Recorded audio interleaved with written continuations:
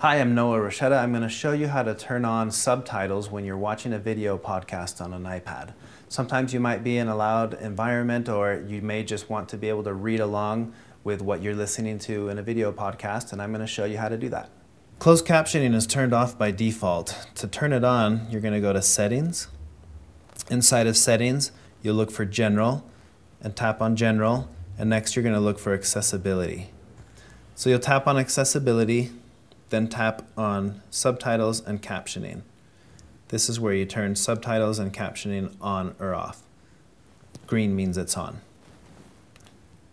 Now, when you're listening to a podcast video, you'll see closed captioning turning on.